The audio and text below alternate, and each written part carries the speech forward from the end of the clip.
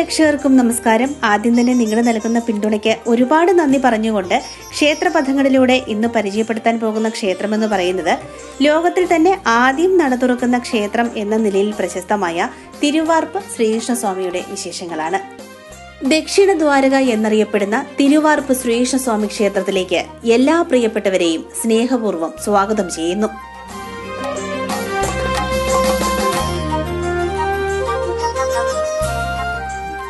കോട്ടയം ജില്ലയിലെ തിരുവാർപ്പ് പഞ്ചായത്തിലാണ് ദക്ഷിണ ദ്വാരക എന്ന പേരിൽ പ്രശസ്തമായ തിരുവാർപ്പ് ശ്രീകൃഷ്ണസ്വാമി ക്ഷേത്രം സ്ഥിതി ചെയ്യുന്നത്.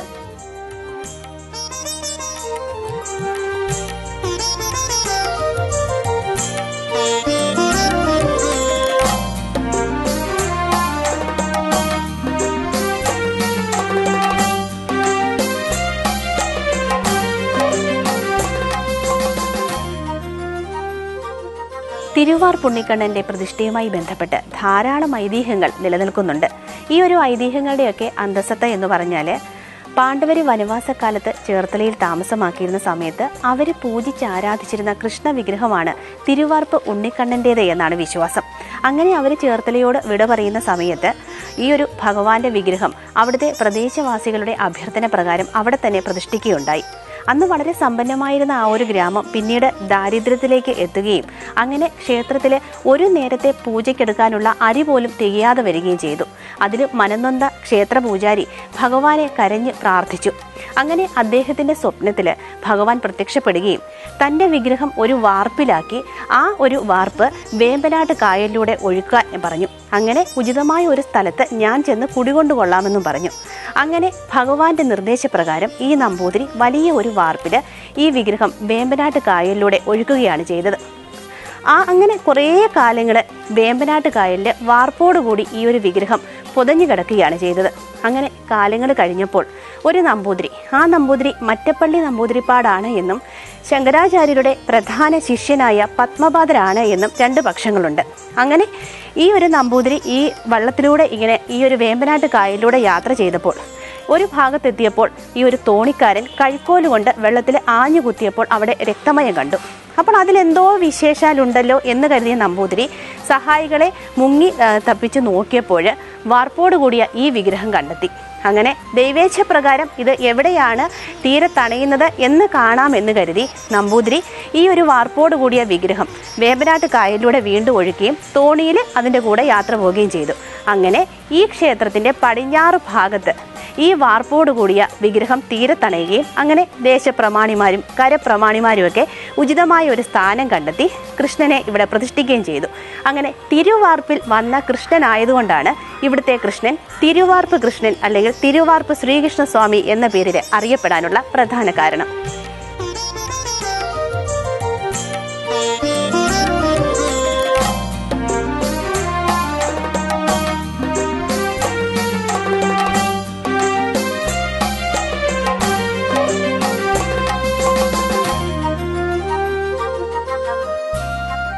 എടുത്തു പറയേണ്ട മറ്റൊരു സവിശേഷത.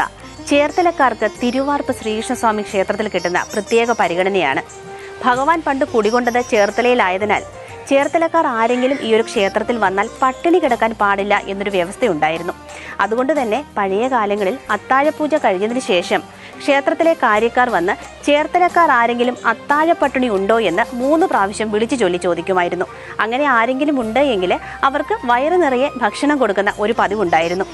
കാലമേറെ ആ, മാറിക്കഴിഞ്ഞു എങ്കിൽ കൂടിയും ഇപ്പോഴും ചേർത്തലക്കാർ വന്നാൽ തിരുവാർപ്പ് ക്ഷേത്രത്തിൽ പ്രത്യേക പരിഗണന ലഭിക്കുന്നു എന്നുള്ള കാര്യം സത്യമാണ്.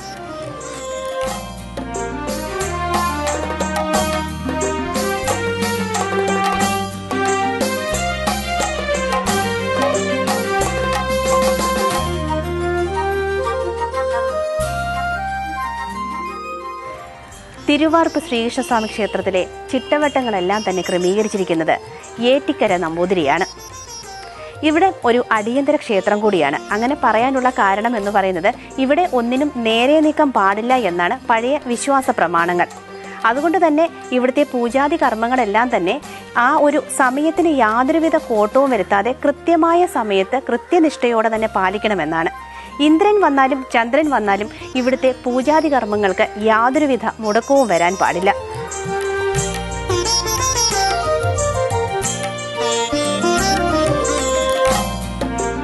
അടുത്ത കാലത്തായിട്ട് ഗ്രഹണം വന്നിരുന്നു. ആ സമയത്ത് കേരളത്തിലെ എല്ലാ ക്ഷേത്രങ്ങളും തന്നെ അടച്ചിടുകയായിരുന്നു ആ ഒരു ഗ്രഹണ സമയത്ത്. എന്നാൽ അതിൽ നിന്നുമൊക്കെ വ്യത്യസ്തമായിട്ട് തിരുവാർപ്പ് ശ്രീകൃഷ്ണസ്വാമി ക്ഷേത്രത്തിൽ ഗ്രഹണ സമയത്ത് ഒരു പൂജ നടന്നു. ഈ പൂജയുടെ പേര് ഗ്രഹണ പൂജ എന്നാണ്. അങ്ങനെ എന്തുകൊണ്ടും വ്യത്യസ്തതയാർന്ന ഒരു ക്ഷേത്രം കൂടിയാണ് തിരുവാർപ്പ് ശ്രീകൃഷ്ണസ്വാമി ക്ഷേത്രം. ഇവിടെ കെട്ടിച്ചോണ്ട് വന്ന നാൾ മുതൽ ഞങ്ങൾ വരാൻ വരുന്നുള്ള തന്നെയല്ല രാജ്യത്ത് ഏറ്റവും ആദ്യം തുറക്കുന്ന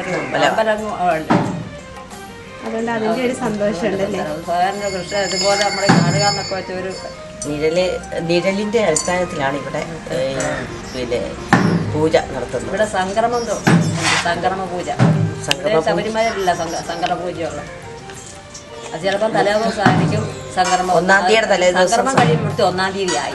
സംക്രമ പൂജ ഇവിടെ പ്രധാനമായിട്ട്. അതോടുകൂടി ഒന്നാം തീയതി ആവുക. പതിനൊന്ന് മണിയാകുമ്പോൾ കലശമുണ്ട്. കലശത്തിന്റെ ആയി. കലശം കലശത്തോട്ടാണ് തിരുവാർപ്പ് ശ്രീകൃഷ്ണസ്വാമി ക്ഷേത്രത്തിലെ ഏറ്റവും പ്രധാനപ്പെട്ട സവിശേഷത എന്ന് പറയുന്നത് ഇവിടെ ഏഴര നാഴിക വെളുപ്പിനെയാണ് ഭഗവാന് ഉഷ നേദിക്കുന്നത്.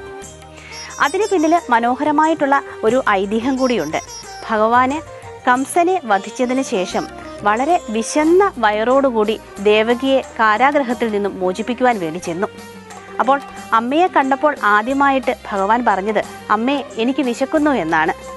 അപ്പോൾ കംസനെ നിഗ്രഹിച്ച് വന്ന മകനാണ്. അപ്പോൾ മകനോട് ദേവകി പറഞ്ഞു പോയി കുളിച്ചിട്ട് വരൂ എന്ന്.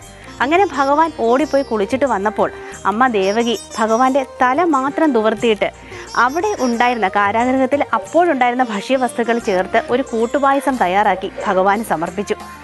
അതുകൊണ്ടാണ് ഇപ്പോഴും അതിരാവിലെ തന്നെ അതായത് രണ്ടര മണിയൊക്കെ ആവുന്ന സമയത്ത് തന്നെ പുലർച്ചെ ഭഗവാനെ ഇവിടെ ഉണർത്തി അഭിഷേകം കഴിഞ്ഞാൽ ഉടൻ തന്നെ ഭഗവാന്റെ തലമുടി തുവർത്തിയിട്ട് ഉഷ നേദിക്കുകയാണ്. അത് കഴിഞ്ഞതിന് ശേഷം മാത്രമാണ് ഭഗവാന്റെ ഉടൽ പോലും തോർത്തി അല്ലെങ്കിൽ അലങ്കാരങ്ങളൊക്കെ ചെയ്യുന്നത്. അതിന്റെ കാരണമെന്ന് പറഞ്ഞാൽ അല്ലെങ്കിൽ ഭഗവാൻ വിശന്ന് ഭഗവാന്റെ വയറൊട്ടി ഭഗവാന്റെ ആ ഒരു അരയിൽ കിടക്കുന്ന കിങ്ങിണി ഊർന്ന് താഴെ പോകും എന്നുള്ള ആ ഒരു വിശ്വാസം കൂടിയാണ്. എന്തായാലും ഇത്രയും പുലർച്ചെ നട തുറന്ന് ഉഷ നേദിക്കുന്ന ഒരേ ഒരു ക്ഷേത്രം കൂടിയാണ് തിരുവാർപ്പ് ശ്രീകൃഷ്ണസ്വാമി ക്ഷേത്രം. ലോകത്തിൽ തന്നെ ആദ്യം നട തുറക്കുന്ന ക്ഷേത്രം കൂടിയാണ് തിരുവാർപ്പ് ശ്രീകൃഷ്ണസ്വാമി ക്ഷേത്രം.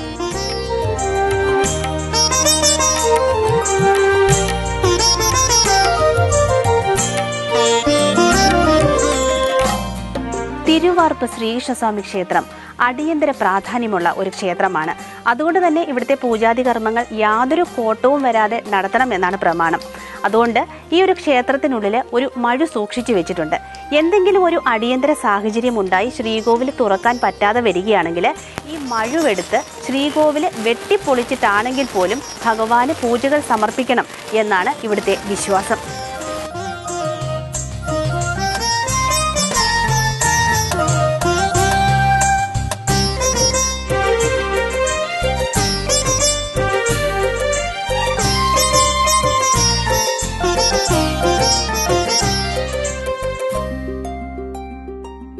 തിരുവാർപ്പ് ശ്രീകൃഷ്ണസ്വാമി ക്ഷേത്രത്തിന്റെ മറ്റൊരു പ്രധാനപ്പെട്ട സവിശേഷത എന്ന് പറയുന്നത് ഇവിടുത്തെ പൂജാതി കർമ്മങ്ങൾ അനുഷ്ഠിക്കുന്നത് ഘടികാര സമയക്രമത്തിലല്ല. മറിച്ച് സൂര്യന്റെ നിഴലിനെ അനുസരിച്ചാണ് ഇവിടെ പൂജാതി കർമ്മങ്ങൾ അനുഷ്ഠിക്കുന്നത്. തിരുവാർപ്പ് ശ്രീകൃഷ്ണസ്വാമി ക്ഷേത്രത്തിലെ പൂജകളെല്ലാം തന്നെ സൂര്യ സൂര്യചന്ദ്രന്മാരുടെ അയനങ്ങൾക്കനുസൃതമായിട്ടാണ്. ഉദയാൽപരം ആണ് ഇവിടുത്തെ പൂജകളുടെ എല്ലാം നിഷ്ഠ. സൂര്യന്റെ രശ്മികൾ സൂര്യോദയത്തിന് മുമ്പ് തന്നെ എതിർത്ത ശിവേലി വെളുപ്പിന് രണ്ട് മണിക്ക് പള്ളി ഉണർത്തൽ രണ്ട് മുപ്പതിന് നട തുറക്കും മൂന്ന് മുപ്പതിന് ഉഷനിവേദ്യം. നിവേദ്യം നിവേദ്യം കഴിഞ്ഞാൽ അഞ്ച് മുപ്പതോടുകൂടി എതിർത്ത ശീവേലി. എതിർത്ത ശീവേലിക്ക് ശേഷം എട്ട് മുപ്പതിന് നടക്കുന്ന പന്തീരടി എട്ട് മുപ്പതിനോട് അടുത്ത് നടക്കുന്ന പന്തീരടി പൂജ സൂര്യന്റെ രശ്മികൾ ക്ഷേത്രത്തിന്റെ ശ്രീകോവിലിന്റെ പുറകു ഭാഗത്ത് സ്ഥാപിച്ചിരിക്കുന്ന ആനയുടെ ബിംബത്തിൽ പതിക്കുമ്പോഴാണ് ഇവിടെ നമ്മൾ പന്തീരടി പൂജ നടത്തുന്നത്. അതിനുശേഷം ഉച്ചയ്ക്ക് ആ ക്ഷേത്രത്തിന്റെ പിൻഭാഗത്തുള്ള ശ്രീകോവിലിന്റെ പിൻഭാഗത്തുള്ള കല്ലിൽ വരച്ചിരിക്കുന്ന വരയിൽ സൂര്യന്റെ നിഴൽ പതിക്കുമ്പോൾ ഉച്ച പൂജ നടക്കുന്നു. അതിനുശേഷം വൈകുന്നേരം അഞ്ച് മണിക്ക് ക്ഷേത്രനട തുറക്കും. അഞ്ച് മുപ്പത് പിന്നുള്ള ഇതെല്ലാം തന്നെ ഈ ഉദയാൽപരം ഇതിനനുസരിച്ച് ഇന്ത്യൻ സ്റ്റാൻഡേർഡ് സമയങ്ങളിൽ നിന്ന് പതിനഞ്ച് മിനിറ്റ് വരെ പലപ്പോഴും വ്യത്യാസങ്ങൾ ഉണ്ടാകാറുണ്ട്. തിരുവാർപ്പിൽ പത്ത് ദിവസത്തെ ഉത്സവമാണ്. പൊടി കയറി കണി കാണുക എന്നുള്ളതാണ് ഇവിടുത്തെ പ്രധാന ചടങ്ങ്. അതായത് വിഷുവിന് തലേന്നാൾ. അതും പലപ്പോഴും വരുന്നത് എല്ലാവരും ചിലപ്പോൾ വിഷു പതിനാലാം തീയതി ആഘോഷിക്കുമ്പോൾ. ചില മാസങ്ങളിൽ മേടമാസത്തിലെ രവി സംക്രമത്തെ ആശ്രയിച്ചാണ് തിരുവാർപ്പിലെ കൊടിയേറ്റ് വരുന്നത്. അപ്പം മേടമാസത്തിൽ സംക്രമം മാറി വന്നാൽ ഞങ്ങൾക്ക് പതിനഞ്ചാം തീയതി ആയിരിക്കും വിഷു. കൊടിയേറി കണി കാണുക എന്നുള്ളതാണ് തിരുവാർപ്പിൽ. കൊടിയേറിക്കഴിഞ്ഞാണ് ഞങ്ങൾ കണി കാണുന്നത്. പത്ത് ദിവസം ഉത്സവമാണ്. ഒന്നാം ഉത്സവത്തിന്റെ അന്ന് കൊടിയേറ്റ് രാവിലെയാണ്. അന്ന് വൈകുന്നേരം ആനയോട്ടം എന്നൊരു ചടങ്ങുണ്ട്. ഒരുപക്ഷെ തെക്കൻ കേരളത്തിൽ ആനയോട്ടം നടക്കുന്ന ഏക ക്ഷേത്രം ഗുരുവായൂർ ആണ്. അത് കഴിഞ്ഞാൽ തെക്കൻ കേരളത്തിൽ ആനയോട്ടം നടക്കുന്ന ഏക ക്ഷേത്രം തിരുവാർപ്പ് ശ്രീകൃഷ്ണസ്വാമി ക്ഷേത്രമായിരിക്കും. ഇവിടെ അടുത്തുള്ള ശിവക്ഷേത്രത്തിൽ നിന്നും ആനയെ ഓടിച്ച് തിരുവാർപ്പ് ശ്രീകൃഷ്ണസ്വാമി ക്ഷേത്രത്തിനുള്ളിൽ കയറ്റി ആന മൂന്ന് വലത്ത് വെക്കുന്നതാണ് ആനയോട്ടം എന്ന് പറയുന്ന ചടങ്ങ്. അതുപോലെ പള്ളിവേട്ട നാൾ രാത്രിയിൽ പള്ളി നായാട്ടിന് ശേഷം ആനയെ ഓടിച്ചിറക്കുകയും പിറ്റേ ദിവസം ആ ആനയ്ക്ക് ഇവിടെ ആനയിരുത്തി പൂജയിലൂടെ ആ ആനയെ ആദരിക്കുകയും ചെയ്യുന്ന ആനയിരുത്തി പൂജ നടത്തുകയും ചെയ്യുന്ന ഒരു ചടങ്ങ് ഇവിടെയുണ്ട്. അത് രണ്ട് ഐതിഹ്യങ്ങൾ പറയുന്നുണ്ട്. ഒരിക്കൽ ആന ഇല്ലാതെ ഒരു ഉത്സവം ഇവിടെ നടന്നപ്പോൾ ആന എങ്ങ് നിന്ന് ഓടി വന്നുവെന്നും. അതല്ല കംസനിഗ്രഹം കഴിഞ്ഞ് ഭഗവാനാണ് തിരുവാർപ്പിലെ പ്രതിഷ്ഠ. കംസരാജധാനിയിലേക്ക് ആദ്യമായി ഭഗവാൻ പ്രവേശിക്കുമ്പോൾ ഭഗവാനെ തടയുന്നത് കുവലയപീഠം എന്ന ആനയാണ്. ആ ആനയെ ഭഗവാൻ വാലിൽ ചുഴട്ടി എറിഞ്ഞതിന്റെ ഒരു ഓർമ്മ പുതുക്കലോ ഇതോ ആയിരിക്കാം ഈ ആനയോട്ടമെന്നും ഇതിന് പുറകിൽ ആൾക്കാർ കൂക്കി വിളിച്ചുകൊണ്ടാണ് ആനയെ ഓടിച്ചുകൊണ്ട് വരുന്നത്. ഇതൊക്കെ വെച്ച് നോക്കുമ്പോൾ ആ ഒരു ഐതിഹ്യത്തിനാണ് കൂടുതൽ പ്രാധാന്യമെന്നുമാണ് ഞങ്ങൾക്ക് വിശ്വസിക്കാൻ ഇഷ്ടം. അതുപോലെ തന്നെ ഈ ക്ഷേത്രത്തിലെ വിഷു സംക്രമം കണ്ടു തീഴുന്നത് വളരെ പുണ്യകരമായിട്ടാണ് ഭക്തജനങ്ങൾ കണക്കാക്കുന്നത്.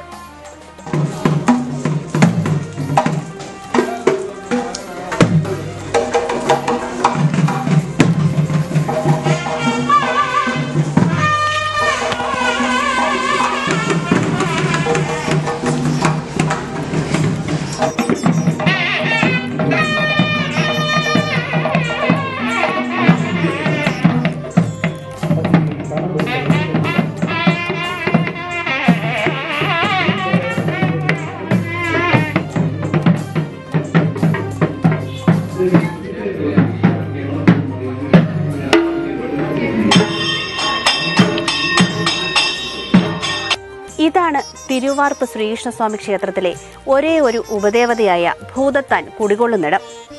ഇവിടെ ഒരു പ്രത്യേകത കൂടിയുണ്ട്. ഭഗവാനെ നേദിക്കുന്ന എല്ലാ നേദ്യങ്ങളുടെയും ഒരംശം ഭൂതത്താന് സമർപ്പിക്കണമെന്നാണ് വിശ്വാസം.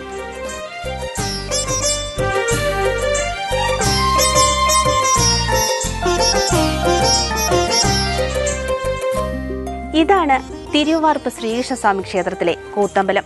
പൗരാണികത നിറഞ്ഞ മനോഹരമായിട്ടുള്ള കൊത്തുപണികൾ നിറഞ്ഞ കൂത്തമ്പലം കൂടിയാണ് തിരുവാർപ്പ് ശ്രീകൃഷ്ണസ്വാമി ക്ഷേത്രത്തിലെ കൂത്തമ്പലം.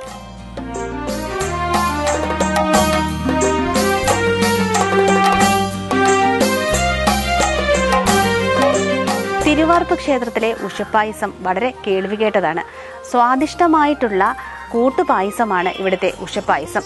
അമ്പലപ്പുഴ പാൽപ്പായസത്തെ പോലെ വളരെ കേൾവികേട്ടതാണ് തിരുവാർപ്പിലെ ഉഷപ്പായസവും.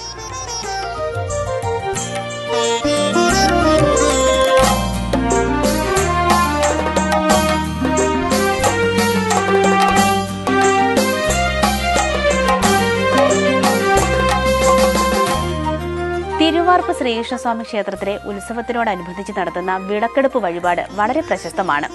പഴയ കാലങ്ങളിൽ ഈ ഒരു താലികെട്ട് കല്യാണം നടക്കുന്നതിന് മുൻപ് നായർ പെൺകുട്ടികളെല്ലാം തന്നെ വിളക്കെടുപ്പ് വഴിപാട് നടത്താറുണ്ടായിരുന്നു. ഈ ഒരു വിളക്കെടുപ്പ് വഴിപാട് നടത്തുമ്പോൾ കണ്ണന്റെ ഗോപ സ്ത്രീകളായിട്ടാണ് ഈ പെൺകുട്ടികളെ സങ്കല്പിക്കുന്നത് അതുകൊണ്ട് തന്നെ വളരെ വ്രതത്തോടും കൃത്യനിഷ്ഠയോടും കൂടിയാണ് വിളക്കെടുപ്പ് വഴിപാട് സമർപ്പിക്കേണ്ടത്. അതുപോലെ തന്നെ പെൺകുട്ടികൾ ഉണ്ടാകാതിരിക്കുമ്പോൾ പെൺകിടാങ്ങളെ ലഭിക്കുന്നതിനു വേണ്ടിയും ഈ ഒരു വിളക്കെടുപ്പ് വഴിപാട് നടത്താറുണ്ട്.